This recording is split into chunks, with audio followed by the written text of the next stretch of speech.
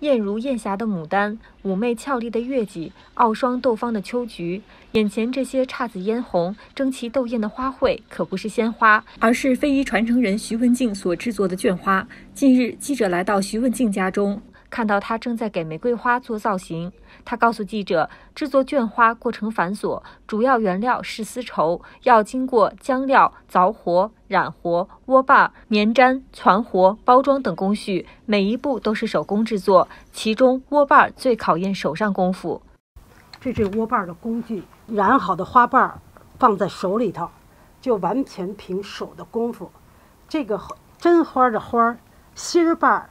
是小条子儿，然后偏沿儿、尖沿儿、圆沿儿、尖头、方头，所有的十几种瓣儿都要凭手工得窝出来。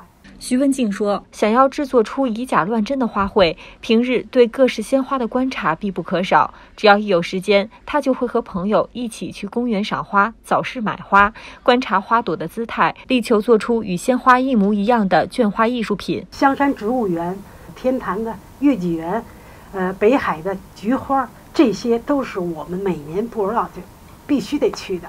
人家别人看花，都一看，哎呀，这花挺好看的啊，那个红的、粉的呢，这这一说就我们不行。我们看花是什么呀？这心儿是怎么长的？雄蕊什么样？雌蕊什么样？然后心儿瓣是多少张？一瓣一瓣，每瓣儿你都要。都要记下来。据介绍，绢花又称金花、宫花，距今已有千年的历史。唐代画家周昉的《簪花仕女图》就再现了宫中妇女簪花戴彩的情景。元明清以来，手工绢花在后宫和达官贵人府邸一度风行，北京成为中国制作绢花的中心，就就是全国人造花的一个集散中心，就在这崇文门外花市大街，几百个铺子全都是卖花的。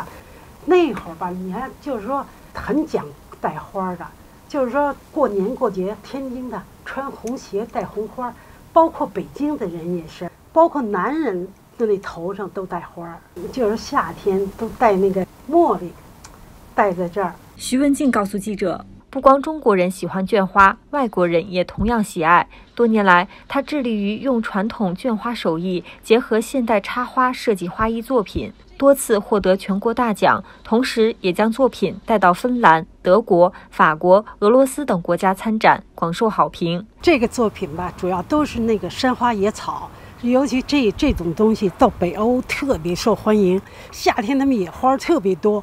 到冬天呢没有了，然后呢就用用咱们这个北京的绢花，这个山花野草就摆在屋子里当装饰。这个这个本身你看这个吧，就是铃兰，就是他们很多国家欧洲国家的国花。然后这个呢薰衣草，然后呢这是马鞭草，然后这个是嗯是玫瑰月季，你知道吗？这还有小的小小野花，你知道。他们认为咱们是丝绸之国，拿丝绸呢，他们不觉得特别新鲜。可是呢，把丝绸做成这种以假乱真的这些花儿，他们就觉得，哎呀，太就活灵活现了，觉得不可思议，你知道吗？今年七十岁的徐文静做绢花已经四十七年。她说，绢花技艺的传承需要靠年轻一代。近年来，她也陆续开班授课，并将绢花带入校园，希望让更多年轻人了解、喜爱绢花。